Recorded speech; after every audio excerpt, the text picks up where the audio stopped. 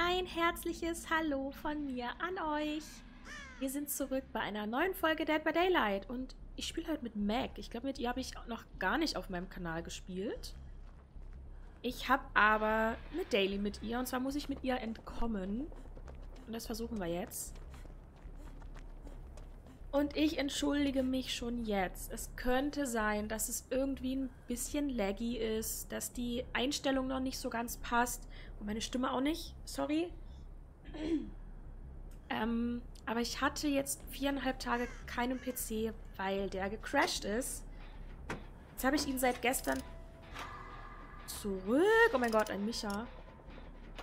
Aber ich musste alles neu einstellen und ich hoffe, ich konnte es jetzt irgendwie wieder so einstellen, wie ich es hatte. Aber wie gesagt, ich entschuldige mich, wenn hier irgendwie was noch nicht so ganz passen sollte.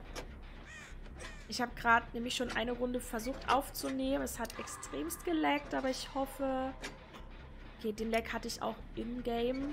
Der war jetzt nicht nur vom OBS verursacht. Ich hoffe, es läuft heute oder in dieser Folge jetzt alles in Ordnung. Ähm, ja. Ich bin auch ein bisschen außer Übung. Man merkt es sofort, also ich zumindest, wenn man mal ein paar Tage nicht gespielt hat. Okay, aber den Generator können wir durchziehen. Micha ist gerade auf Stufe 3. Das heißt, er kann mit einem Schlag die Person niederstrecken. Oh mein Gott!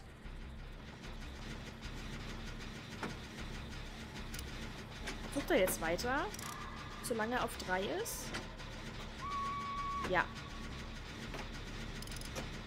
Nein! Das ist ein Micha, der was kann. Verdammt. Und in den Keller.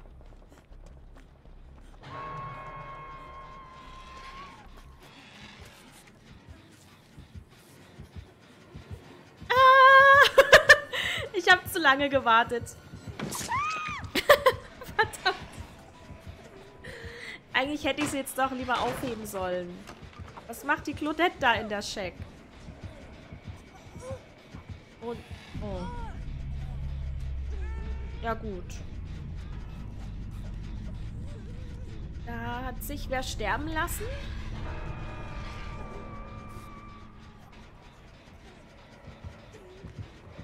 Aber er ist nicht mehr auf drei, aber jetzt hat er die Kate.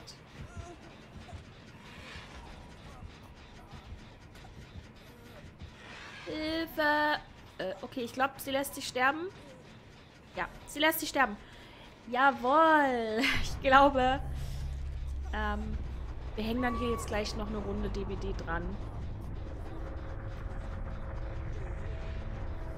Ja, das kann man doch so jetzt nicht stehen lassen.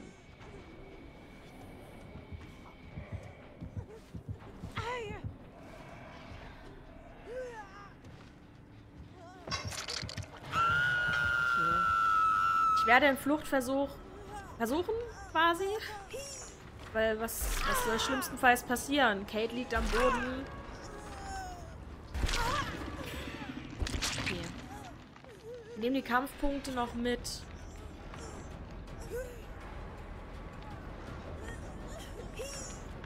Findet er jetzt die Kate nicht mehr?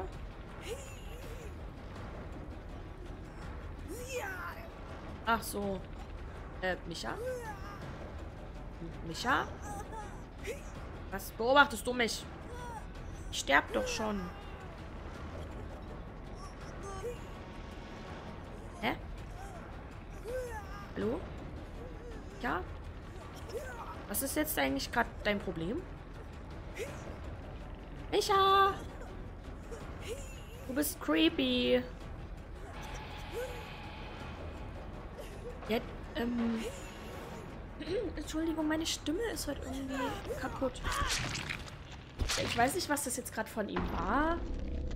Äh, also, mein Haken ist jetzt eh kaputt, wenn ich jetzt hier sterbe. Der kann die Kate hier nicht aufhängen.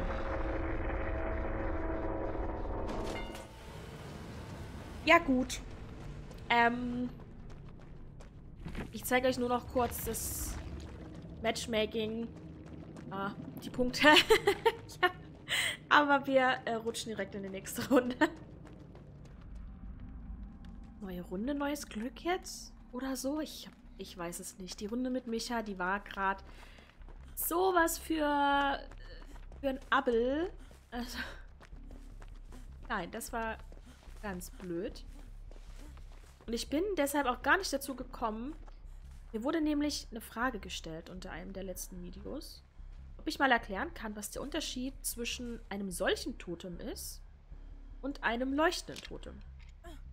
Das kann ich sehr gern machen. Ähm, so ein Totem hat rein theoretisch anfangs nicht so eine Bedeutung. Man sollte Totems generell wegmachen, weil das Eigentum des Killers quasi ist. Aber so ein Totem, was nicht leuchtet, das tut erstmal nicht weh. Kann aber zu einem späteren Zeitpunkt noch zu einem leuchtenden Totem werden. Und die leuchtenden Totems sind quasi Flüche. Oh, hier ist direkt noch eins. Das machen wir auch direkt weg. Sind Flüche. Wir sehen gerade rechts dieses Dreieck am Bildschirmrand. Das heißt, der Killer hat uns verflucht. Ähm, in diesem Fall war es, glaube ich, das Wiegenlied der Jägerin. Das heißt, die Skillchecks kommen ein bisschen verzögert, beziehungsweise das Signal für den Skillcheck. Aber es gibt noch andere Flüche von Killern, die uns als Überlebenden das alles ein bisschen schwerer machen sollen. Es gibt dann zum Beispiel noch Ruin. Das heißt, der Generator, sobald ich nicht mehr dran arbeite, wird zurückgesetzt. Ah, der Killer ist AFK. Es ist, glaube ich, ein Clown. Wow, noch so eine Runde. Aber egal, dann erkläre ich das kurz noch zu Ende mit den Totems. Also es gibt ein Totem, das hat einen Ruinfluch drauf hat. Wenn ich jetzt den Generator loslassen würde, würde der Generator stetig im Rückgang sein. Also die, der Fortschritt würde zurückgehen. Es gibt Flüche, ähm, verteufelter Boden. Das heißt, wenn dieses Totem dann weggemacht wird, dann... So, der Knall da hinten übrigens, das war jetzt dieses verfluchte Totem, was wir hatten. Ihr seht rechts, dieses Fluchzeichen ist jetzt weg. Das heißt, Wiegenlied der Jägerin ist nicht mehr aktiv.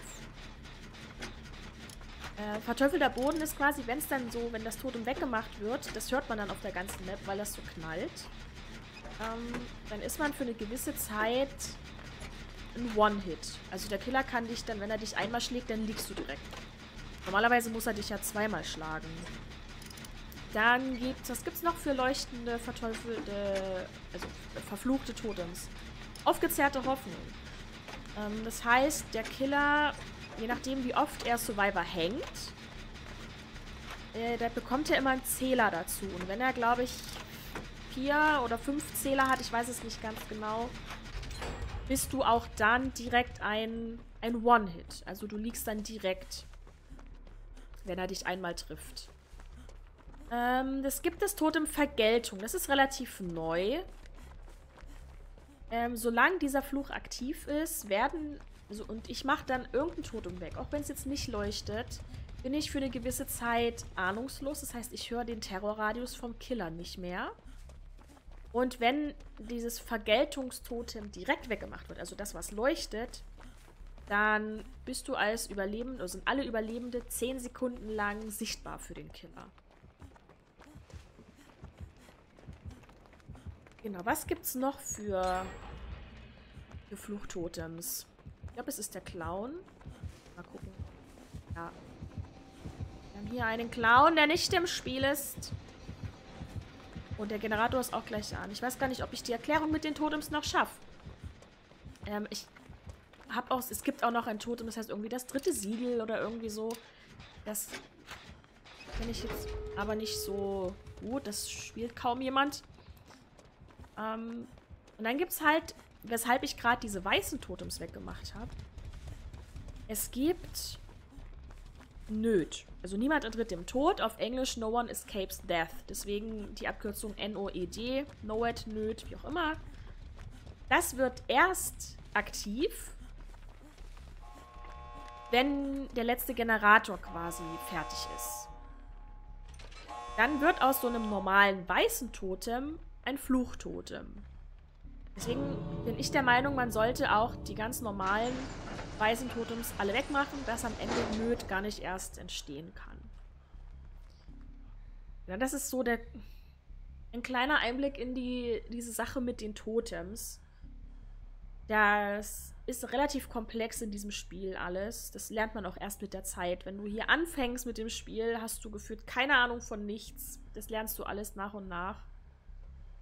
Ähm, genau, und wenn du halt ein normales Totem wegmachst, hallo Nea, kriegst du 1000 Punkte und wenn du ein Fluchtotem wegmachst, bekommst du 1500 Punkte.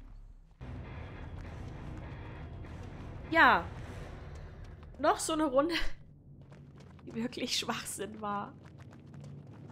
Oh, aber ich habe meine Daily geschafft und ich konnte die Sache mit den Totems kurz erklären. Ich habe heute ein bisschen Lehrer gespielt, weil... Oh. Matchmaking. Ja.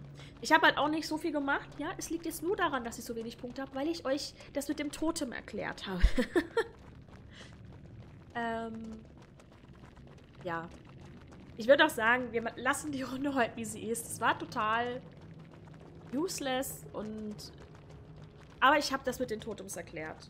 Und das ist es jetzt wert, dass ich das hochlade. Und ich würde sagen, wir sehen uns einfach bei der nächsten Folge und da hoffentlich ein bisschen erfolgreicher. Wenn ihr übrigens auch äh, irgendwelche Fragen habt, schreibt es gerne in die Kommentare.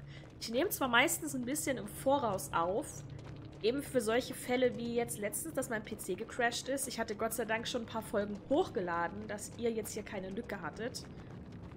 Aber sobald ich eure Fragen sehe und ich nehme wieder auf, dann werde ich euch die Fragen auch beantworten.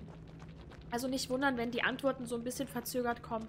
Ich antworte definitiv auf eure Fragen. So, jetzt aber wirklich, wir sehen uns in der nächsten Folge. Habt noch einen schönen Tag. Macht's gut, bis dahin.